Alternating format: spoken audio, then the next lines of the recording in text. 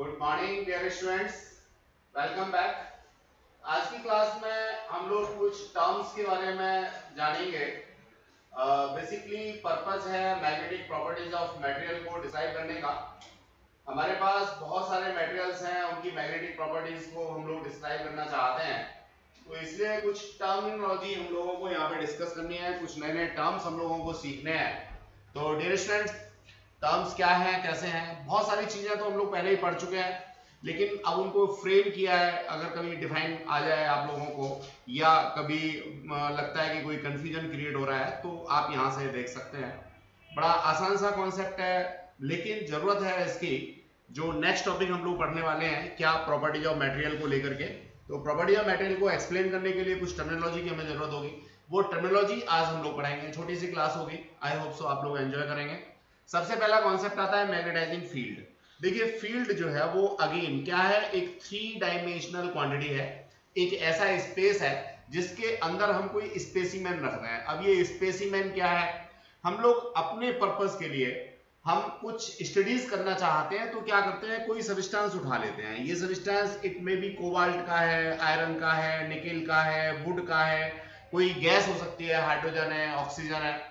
तो उसको हम लोग कहते हैं स्पेसिमैन क्या कहते हैं हम लोग? स्पेसिमैन अब उस स्पेसिमैन को अगर मैं किसी मैग्नेटिक फ़ील्ड के अंदर प्लेस कर दूँ, उसके ऊपर होने वाले चेंजेस को समझने के लिए, पढ़ने के लिए तो उस फ़ील्ड को, उस स्पेस को मैं नाम देता हूँ magnetising field dear students magnetising field को अगर डिफाइन करना हो तो डिफाइन हम लोगों ने यहाँ पे लिखी हुई है। When a magnetic metal is placed in a magnetic field a magnetism is induced in it, the magnetic field that exists in vacuum. हम ये वैक्यूम के अंदर बात कर रहे हैं, यहाँ पे खास बात बता रहे हैं। वैसे कोई ज़रूरी नहीं है, हमेशा वैक्यूम होगा, लेकिन हम लोग सिंप्लिसिटी के लिए वैक्यूम के अंदर ही इस मैग्नेटाइजिंग फ़ील्ड को ले रहे हैं, या मैग्नेटिक फ़ील्ड को ले रहे हैं, जो किसी स्पेसिमन के अंदर क्या कर सकता है मैग्नेटिज्म डेवलप कर सकता है। तो I hope so magnetising field आपको क्लियर हो गया होगा। इसके बाद हम लोग बात करना चाहेंगे इसके रिप्रेजेंटेशन की तो रिप्रेजेंटेशन मैग्नेटाइजिंग फ़ील्ड हम कैसे भी डेवलप कर सकते हैं? मान लीजिए मेरे पास कोई करंट कैरिंग लूप है, उसमें से आई फ्लो कर रही है नंबर ऑफ़ टर्न्स उसके अंदर एन है, अब मैंने वैक्यूम कंसीडर किया है, इसलिए म्यू नोट से मल्टीप्लाई किया। इस तरह से जो मैग्नेटाइजिंग फ़ील्ड है, उसकी जो स्ट्रेंथ होगी, देखिए फ़ील्ड का रिप्रेजेंटेशन तो हम कुछ कर नहीं सकते, वो तो स्पेस है थ्री डायमेंशनल कॉन्सेप्ट है। लेकिन किसी भी पॉइंट पर जो स्ट्रेंथ होगी it may be given by B naught equals to mu naught N I where mu naught is the magnetic permeability इसको भी हम लोग अभी आगे पढ़ने वाले हैं। N is the number of turns मान लीजिए मैंने कोई कॉइल कंसीडर किया है तो इसमें नंबर ऑफ़ टर्न्स एन ले लिए। फ्लो होने वाली करंट आई है तो इस कॉइल के अंदर जो फ़ील्ड होगा, उस फ़ील्ड को मैंने यहाँ पे नाम दिया है magnetising field I hope so magnetising field के बाद में हम लोग मैग्नेटिक फ़ील्ड इंडक्शन की बात करें। बहुत दिनों से हम लोग पढ़ते आ रहे हैं magnetise magnetic field strength magnetic field strength तो डियर स्ट्रेंथ के मैग्नेटिक इंडक्शन जो है, वो मैग्नेटिक फ़ील्ड स्ट्रेंथ ही है। हम लोग अगर इसको डिफाइन करना चाहते हैं तो दोनों तीनों तरीके से दे सकते हैं। जैसे ऊपर भी हमने दे रखा है बी नॉट किसके लिए? वैक्यूम के लिए equals to mu naught N I तो यहाँ से भी मैग्नेटिक इंडक्शन को हम लोग बी के टर्म्स में शो कर सकते हैं। ये नीचे भी हम लोगों ने बिल्कुल वैसे ही दे रखा है अगर हम देखेंगे। कोई अगर मटेरियल है तो उस मटेरियल के लिए हम लोग यहाँ पे म्यू आर से और मल्टीप्लाई कर देंगे। और रिप्रेजेंटेशन है हमारा इसका कैपिटल बी से। अब इसकी डिफाइन की बात करते हैं तो डिफाइन ये है बच्चों, देखेंगे जरा हम लोग। दो तरीके से अलग अलग डिफाइन कर रखी है, जिसमें जो नीचे वाली डिफाइन है वो ज़्यादा अच्छी है, उसमें यूनिट भी हम लोगों ने दे रखी है। ऊपर वाली डिफाइन की बात करते हैं तो ये क्या है? Sum of external magnetising field and the additional magnetic field produced due to magnetisation of the material and is called magnetic induction अब किसी स्पेसमैन को मैंने मैग्नेटिक फ़ील्ड के अंदर रखा तो जो बाहर वाला एक्सटर्नल मैग्नेटिक फ़ील्ड है प्लस जो स्पेसिमैन के अंदर जो मैग्नेटिक फ़ील्ड डेवलप हो गया है, उन दोनों को लेकर के मैंने सम कर दिया, जोड़ दिया तो उसको मैग्नेटिक इंडक्शन कह रहा हूँ। इसी को मैंने दूसरे टर्म्स में यहाँ पे दिया है, ये है the magnetic induction may also be defined as the total number of magnetic field lines in terms of magnetic field line हम लोगों ने इसको एक्सप्लेन करने की कोशिश की है। Magnetic field lines of force crossing per unit area normal to the material अब मैंने कोई मटेरियल लिया, इसका कोई सरफेस एरिया लिया।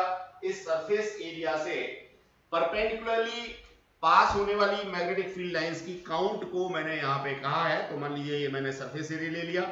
इस सरफेस एरिया के परपेंडिकुलर पास होने वाली जो मैग्नेटिक फ़ील्ड लाइंस हैं, इनकी काउंट को, इनकी नंबर को मैंने यहाँ पे कहा है क्या?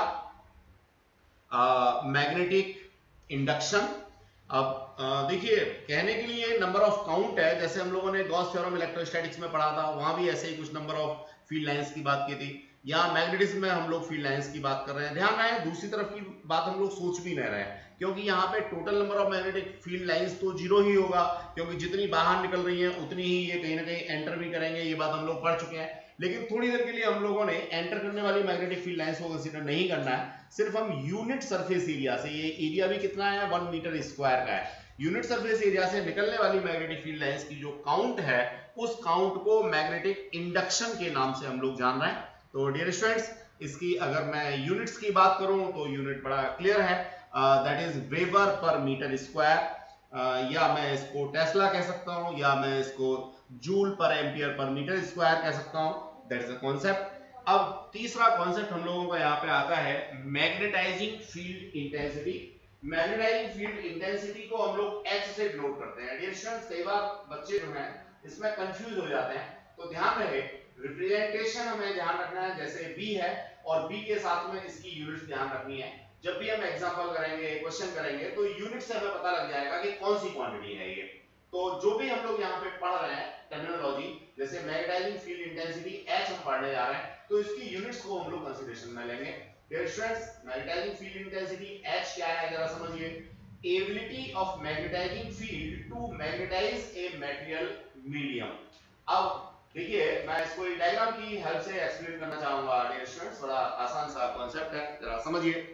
मान लीजिए, ये मेरे पास में कोई मैग्नेटिक फ़ील्ड है और इस मैग्नेटिक फ़ील्ड की स्ट्रेंथ भी है। इसके अंदर मैंने प्लेस कर दिया है कोई मैग्नेटिक मटेरियल मान लीजिए, ये मैंने मैग्नेटिक मटेरियल प्लेस कर दिया है।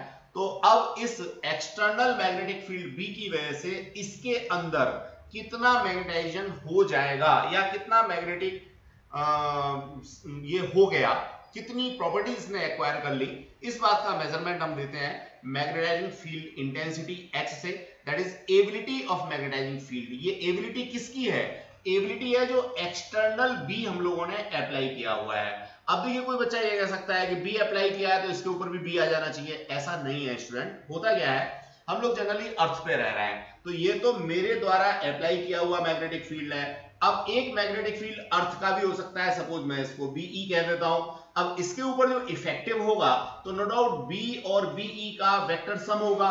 अब हो सकता है बीई e, यानी अर्थ का मैग्नेटिज्म और अप्लाइड मैग्नेटिक फ़ील्ड जो है वो दोनों अलग अलग डायरेक्शन में हो।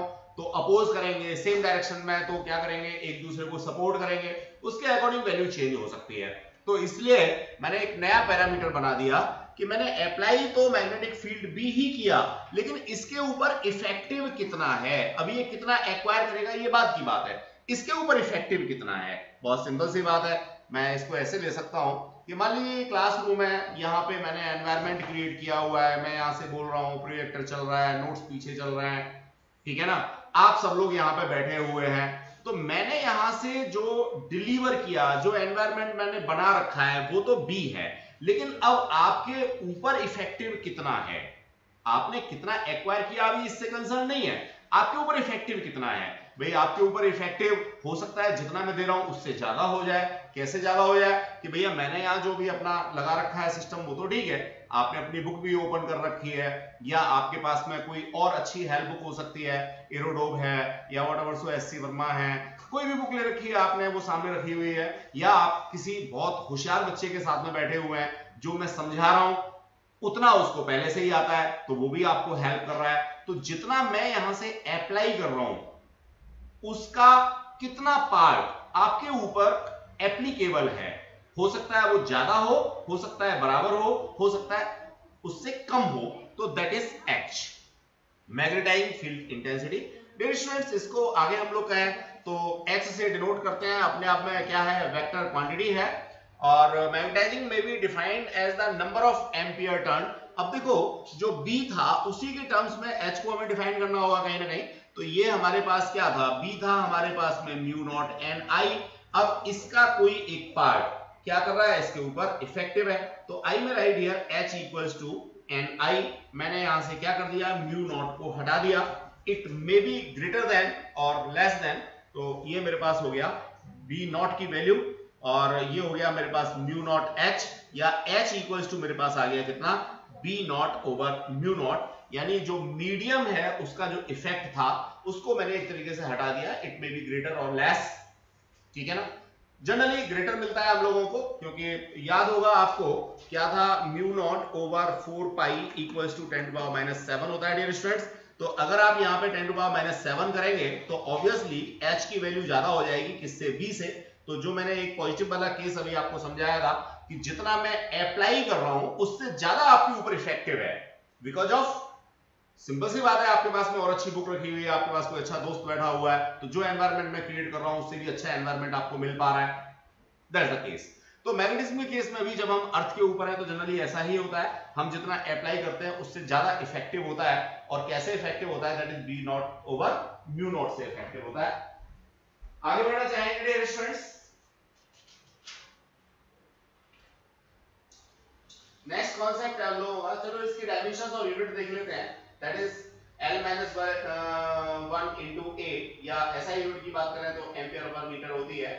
और अगर मैं इसको ब्रेकअप करता हूँ तो जूल पर मीटर पर uh, हम लोगों को मिलती है। अब देखिए जितना भी हमने ये हाईलाइट कर रहा है तो रखा है। कॉम्पिटिटिव एग्ज़ाम के लिए तो बहुत ही ज़्यादा इंपॉर्टेंट है। अब एक ही चीज़ की अगर चार यूनिट आपको याद है तो आप कंफ्यूज कभी हो ही नहीं सकते। इसके बाद में इंटेंसिटी ऑफ़ मैग्नेटाइजेशन देखिए जो सिनेरियो हम लोगों ने अभी डिस्कस किया था उसी सिनेरियो को थोड़ा सा और आगे बढ़ाते हैं और इंटेंसिटी ऑफ़ मैग्नेटाइजेशन हम लोगों को अच्छे से समझ में आ जाएगा। चलिए मानिए ये मैंने यहाँ पे अप्लाई किया था कितना बी ये एक स्पेसिमेन पड़ा हुआ था। स्पेसिमेन के लिए मैं दूसरा कलर चूज़ कर लेता हूँ। मानिए ये मेरे पास में एक स्पेसिमेन पड़ा हुआ था। अब बी तो मैंने अप्लाई किया और स्पेसिमेन मेरे पास एक बॉक्स पड़ा हुआ है। इसके ऊपर इफ़ेक्टिव है कितना एच जितना मैंने बी अप्लाई किया था, उससे कम या ज़्यादा एच हो सकता है ज़्यादातर केसेस में ज़्यादा ही होता है। अब इसने यूनिट वॉल्यूम के ऊपर एक्वायर कितना कर लिया? क्या बच्चों यूनिट वॉल्यूम के ऊपर उसने एक्वायर कितना किया है? ये बात समझनी है। यहाँ से मैंने इसका यूनिट वॉल्यूम लिया और इस यूनिट वॉल्यूम के ऊपर कितना उसने एक्वायर कर लिया, इस चीज़ को मैं कहता हूँ इंटेंसिटी ऑफ़ मैग्नेटाइजेशन और आई से डिनोट करता हूँ। एग्जैक्टली exactly आई को मैथमेटिकली मैं जानना चाहूँगा तो I equals to capital M over V M क्या है यहाँ पे? एम है मैग्नेटिक डाइपोल मोमेंट जो हम पीछे से पढ़ के आए हैं। M is here magnetic dipole moment देखो बच्चों मैग्नेटिक डाइपोल मोमेंट को आप लोग एन आई ए के टर्म्स में भी लिख सकते हो। एक दूसरा भी हम लोगों ने पढ़ा था बी के टर्म्स में तो उस तरह से भी लिख सकते हो। तो ये आई यहाँ पे करंट है और ये वाला आई आपका इंटेंसिटी ऑफ़ मैग्नेटाइजेशन है। तो दोनों में ध्यान रखेंगे। चलिए मैं इसको स्मॉल आई बना देता हूँ। तो थोड़ा आसान रहेगा आपको। तो exactly intensity of magnetisation is a magnet magnetic dipole movement acquired by unit volume ये नीचे यहाँ पे क्या है? वॉल्यूम है। अब मैंने इस चीज़ को यहाँ पे प्लेस किया डियर स्टूडेंट्स तो I equals to M by V M को मैंने यहाँ पे एन आई ए लिख दिया। अब ये आई एम सिर्फ़ इसलिए लिखा है कि ये करंट है यहाँ पे। आई से आई कैंसिल आउट हो गया और ये मेरे पास एन इंटू आई आ गया। No doubt that is intensity of magnetisation and that is the current flowing through ये बात आपको समझनी है यहाँ पे। दूसरी तरफ़ मैं इसको bm के टर्म्स में भी लिख सकता हूँ। Bm इक्वल्स टू b का मतलब मैग्नेटिक फ़ील्ड और m मैग्नेटाइजेशन का कॉन्सेप्ट है। That is mu naught N I आपको सोलेनोइड वाला केस याद होगा। वही चीज़ है, ये म्यू नॉट एन आई को ही हम लोगों ने थोड़ा सा मॉडिफाई किया है आई एम लिखा है मैग्नेटिज्म के लिए। देखो बच्चों, यहाँ ये एम एम जो हम लोग बार बार यूज़ कर रहे हैं, इसके पीछे रीजन क्या है? रीजन ये है कि इलेक्ट्रोस्टैटिक्स और मैग्नेटोस्टैटिक्स दोनों बिल्कुल एनालॉगस ब्रांचेज हैं। हम ये मैग्नेटोस्टैटिक्स पढ़ रहे हैं। यानी हमारे मैग्नेट्स जो है वो रेस्ट में है। इसको हम लोग कंपेयर करना चाह रहे हैं किससे? इलेक्ट्रोस्टैटिक्स के साथ में, जहाँ पे कि हमारा चार्ज रेस्ट में था। तो बार बार हम लोग ये प्रीफिक्स जो लगा देते हैं M M that is only for magnetism तो ये बात हम लोगों को ध्यान रखनी है। बाकी general notation mu naught N I है तो आप लोग उसके टर्म्स में ला सकते हैं। अब वॉल्यूम की बात करें, ये केस कहाँ से आ गया? ये आ गया हमारा बार मैग्नेट का केस मानिए मेरे पास में ये कोई एक बार मैग्नेट है। अब इस बार मैग्नेट का जो क्रॉस सेक्शनल एरिया है, वो ए है और लेंथ इसका कितना है? 2l है। तो डियर स्टूडेंट इसका वॉल्यूम जो है वो हो गया a इंटू अब मैं इस चीज़ को यहाँ से डाल सकता हूँ। क्या? Magnetic dipole moment that is capital M magnetic dipole moment equals to Q M into two L where Q है? एम है स्मॉल एम तो आप यहाँ से m टू एल भी इसको लिख सकते हैं। Again don't be confuse M ये कहीं ना कहीं इलेक्ट्रोस्टैटिक चार्ज से magnetostatics magnetic movement sorry magnetic pole strength के साथ में कंपेयर किया है। तो यहाँ पे कंफ्यूज नहीं होना, फिर समझ लीजिए, ये क्यू एम और m, दोनों एक ही चीज़ है। ये स्मॉल m है डियर स्टूडेंट्स और ये स्मॉल q m है। तो दोनों एक ही चीज़ है। ज़्यादातर बुक्स में सिर्फ़ स्मॉल लिखा होता है। हमने यहाँ पे जानबूझ के क्यू एम क्यू एम बार बार यूज़ किया है। थोड़ा कंफ्यूजिंग आपको लग सकता है, लेकिन सही रोटेशन क्यू एम वाला ही है। ये सही रोटेशन आप लोगों को यही लेना है। तो आई होप सो ये बात आपको क्लियर हो गई होगी डियर स्टूडेंट्स तो यहाँ से इंटेंसिटी ऑफ़ मैग्नेटाइजेशन आई आप निकाल सकते हैं एम बाई वी यहाँ पे m की value q m into 2l डाली for the case of bar magnet यहाँ से नीचे आपने वॉल्यूम डाल दिया बार मैग्नेट का, a into 2l तो ये आपके पास में क्या आ गया? Q m ओवर a आ गया। आप अगर चाहें तो इस चीज़ को m by a भी लिख सकते हैं, where m is the magnetic pole strength of bar magnet and a is a cross sectional area of bar magnet. तो इस तरह से आप लोग इंटेंसिटी ऑफ़ मैग्नेटाइजेशन को बार मैग्नेट के टर्म्स में ले सकते हैं। मान लीजिए ये आपके पास में हेब्जर्ड शेप का कोई स्पेसिमेन नहीं था। आपने सपोज़ इसको बार की फॉर्म में स्पेसिमेन को ले लिया तो अब ये और आसान हो जाता है। यहाँ पे एरिया ए ले लिया, लेंथ 2l आपने ले ली, और इसमें जो एक्वायर हुआ मैग्नेटिज्म वो m m दोनों पोल्स हो गए। तो आप इसको इसके टर्म्स में लिख सकते हैं। That is a concept dear students I hope so आपको अब ये बात समझ में आ गई होगी। So don't be confused regarding to small m, capital M and whatever so uh, q m आपको ये सब बातें बिल्कुल क्लियर होनी चाहिए।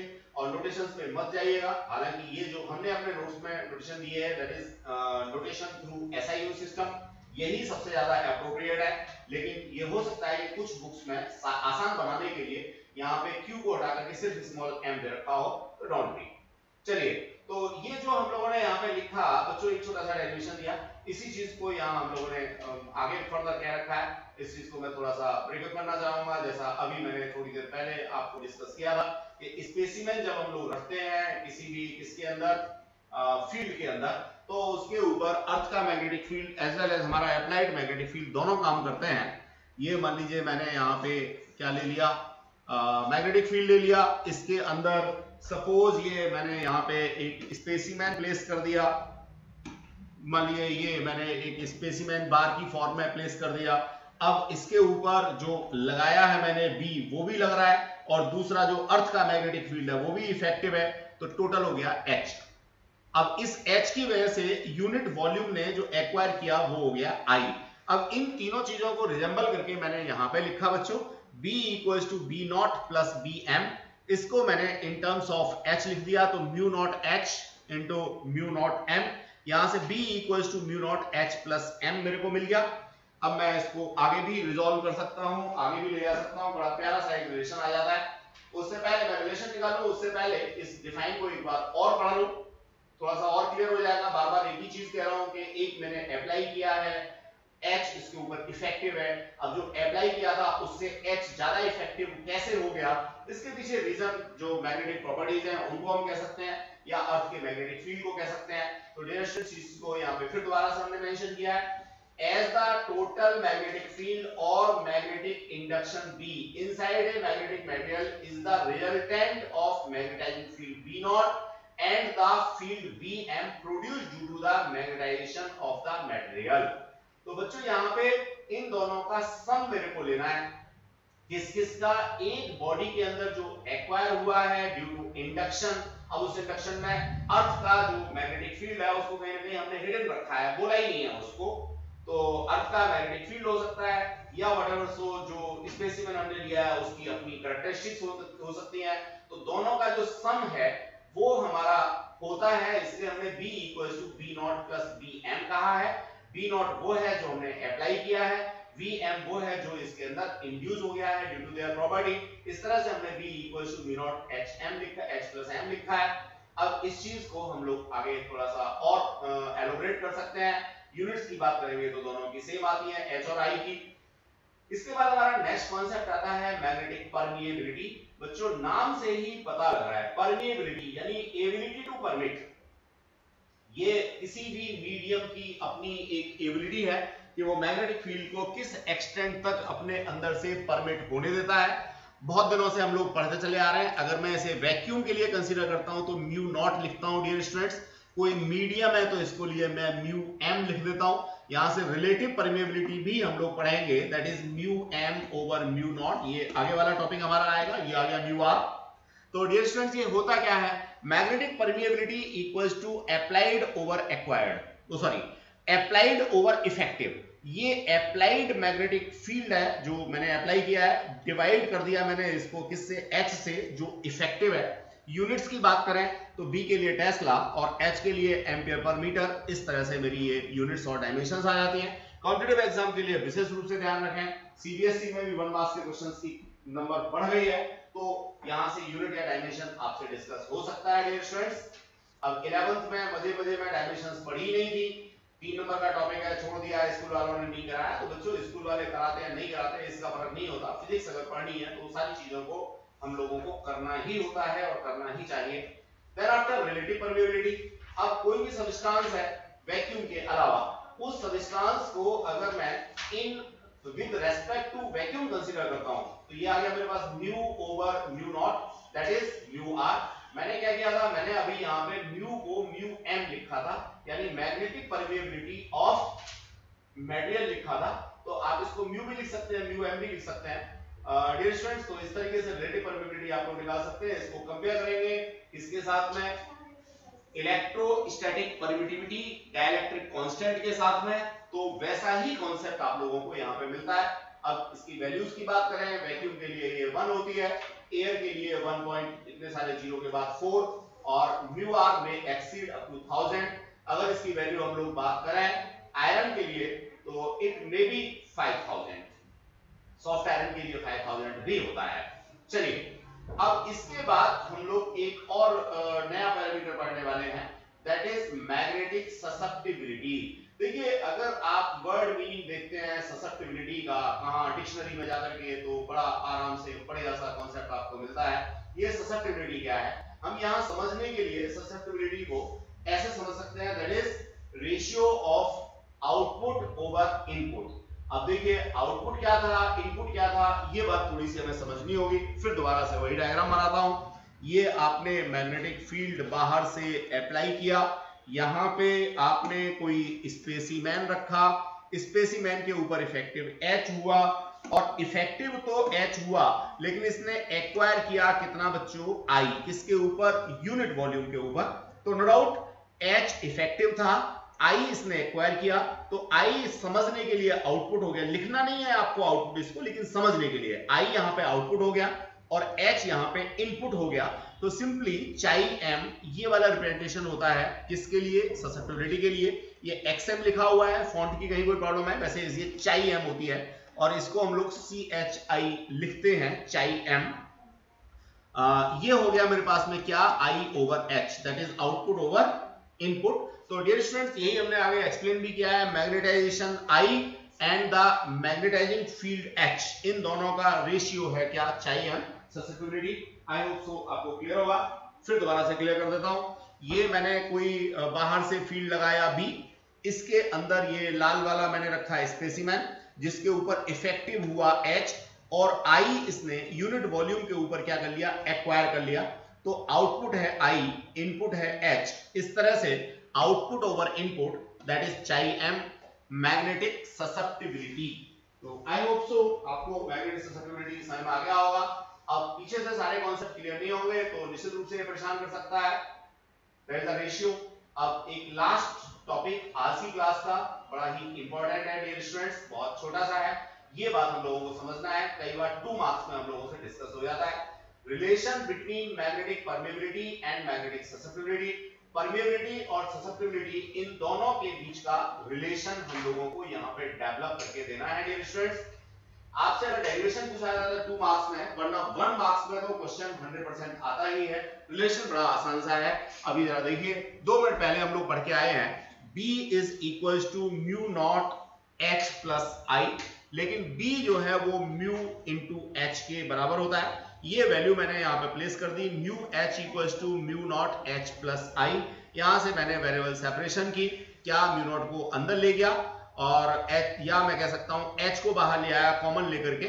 तो एक स्टेप और लिख देता हूँ that is mu H equals to mu naught H और ये हो गया one plus I over H अब यहाँ से कॉमन एच लेने का मेरा पर्पज क्या था? पर्पज सिंपल सा ये था कि मुझे चाहिए ससेप्टिबिलिटी और ससेप्टिबिलिटी होती है आई ओवर एच तो मैंने इसको एच को बाहर कॉमन ले लिया एच से एच कैंसिल आउट हो गया।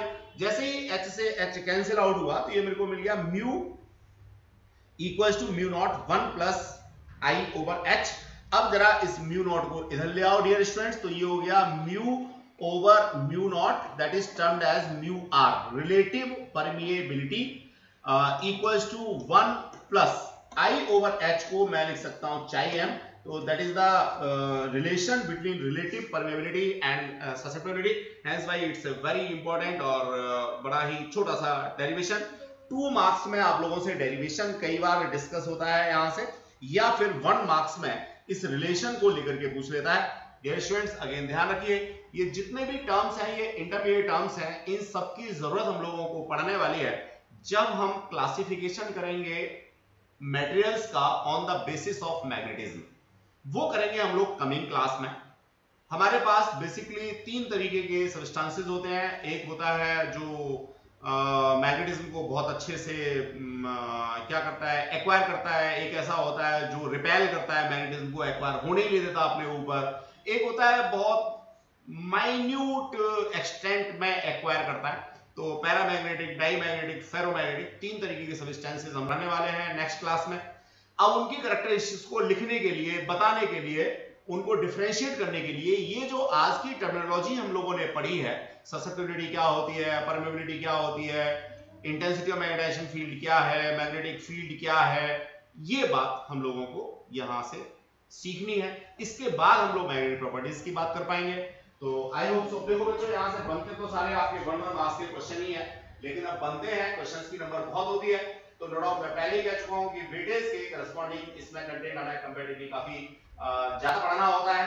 I hope so you have to enjoy today's class और सारी चीज़ों को आप करेंगे। अगेन ध्यान रहे, each and every class must be taken by you in continuity कोई भी डाउट है, पहली बात तो जब मैं क्लास रिकॉर्ड कर रहा होता हूँ डिलीवर कर रहा होता हूँ तो कोशिश करता हूँ कि फ्रॉम बॉटम टू टॉप कोई डाउट आपका बचे ही ना। 27 इयर्स का जो एक्सपीरियंस है, उसको पूरा यहाँ डालने की कोशिश करता हूँ, जिससे किसी बच्चे का कोई डाउट आए ही ना। फिर भी if you have any doubt you are totally free आप कभी भी फ़ोन कर सकते हैं, कभी भी व्हाट्सएप कर सकते हैं। फ़ोन करके आप इंडिविजुअल टाइम लेकर के मेरे पास आकर के बैठ करके अपने डाउट्स क्लियर करके जा सकते हैं। अब अगर आप पढ़ेंगे ही नहीं क्लास ही नहीं लेंगे तो डाउट कहाँ से आएँगे? फिर कहेंगे, हमें समझ में नहीं आया। तो भैया, ये मेरे पास सॉल्यूशन नहीं है। सॉल्यूशन सारे के सारे हैं। अगर आप कुछ करते हैं at all first you have to took my class properly thoroughly इसको लीजिए साथ साथ अपने नोट्स बनाइए। आपके पास में ऑप्शन है, कहीं भी इसको पॉज कर लीजिए पॉज करके अपने नोट्स प्रॉपर लिख लीजिए। ये नोट्स भी प्रिंटेड फॉर्मेट में आपके पास अवेलेबल है। जिनके पास नहीं है, वो इश्यूट से आकर के ले लेंगे।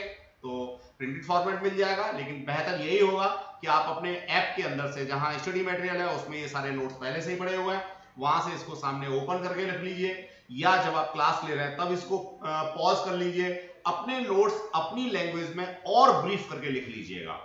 गेटिंग द कॉन्सेप्ट और नॉट जब न्यूमेरिकल्स करते हैं, अभी आप लोगों को एमसीक्यू सेक्शन जो हम लोग टेस्ट में देते हैं, वो एमसीक्यू सेक्शन भी ऐप के अंदर अवेलेबल होने वाला है, एक दो दिन में हो जाएगा।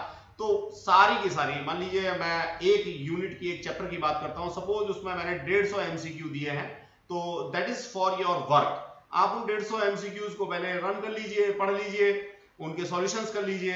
इसके बाद आपका टेस्ट होता है तो आई होप सो आप और अच्छा एक्वायर कर सकते हैं। दूसरा प्रिंटेड फॉर्मेट भी आप लोगों को मिल सकता है, आप ऐप के अंदर से प्रिंट कर सकते हैं। मैं तो यहाँ से प्रिंटेड फॉर्मेट प्रोवाइड नहीं करूँगा एमसीक्यूज का ऐप के अंदर ही रहेंगे, लेकिन अगर आप चाहें तो अपने प्रिंट आउट निकलवा सकते हैं।